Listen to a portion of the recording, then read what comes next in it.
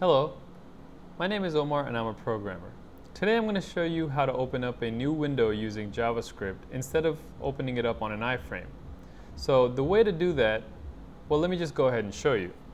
I have some boilerplate HTML code set up as you can see and uh, I have an input button here that'll open up the new window.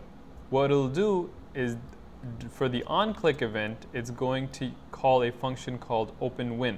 I haven't written that function yet and I'll show you how it's done. I'm going to go to the head and I'm going to write the script here. I've already, done that and I pasted it. And the function in JavaScript that we're utilizing is window.open. And the parameter it takes is the URL that you want to open. Once you do that, it's going to open up this URL in a brand new window.